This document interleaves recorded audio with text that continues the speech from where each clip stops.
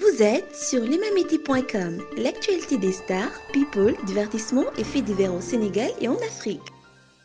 Pour certains, pour d'autres, sa proximité avec le chef de l'État pourrait par contre le desservir. Le dossier du midi est signé Mohamed Ali Mouba. Famara Ibrahim Sagna, un homme politique expérimenté, intègre à équidistance des chapelles depuis son retrait de la vie politique. Et pour tout cela, l'homme a effectivement le profil pour diriger les débats. C'est le point de vue du directeur de publication des Réunis Quotidiens, Hassan Samb. Euh, c'est quelqu'un qui est assez serein, assez respectueux de tous et qui depuis très longtemps s'est retiré des affaires et est resté vraiment dans son coin.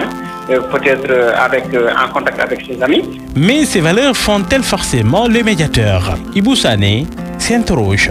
Il est enseignant-chercheur en sciences politiques.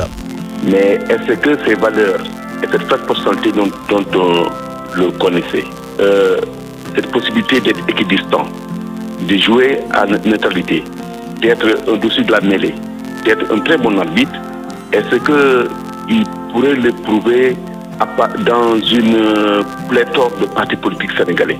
Parce que l'idéal aurait été de confier cette mission-là à un professeur d'université, qui est à la fois un bon facilitateur, qui est à la fois un bon pédagogue, qui est à la fois quelqu'un qui peut faire une très bonne synthèse et qui connaît bien la matière, notamment le droit constitutionnel. Plus problématique, les relations privilégiées entre Abdou Diouf et Famara Ibrahim Sagna.